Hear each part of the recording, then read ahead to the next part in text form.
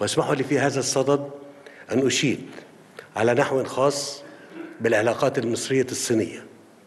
وأود أن أنوه في هذا الإطار إلى مرور عشرة أعوام على تدشين علاقات الشراكة الاستراتيجية الشاملة بين مصر والصين.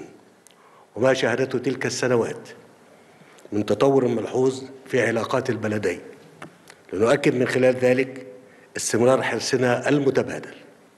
على الارتقاء بالعلاقات الثنائية وعلى تحقيق التكامل بين رؤية مصر 2030 للتنمية المستدامة مع أولويات مبادرة الحزام والطريق.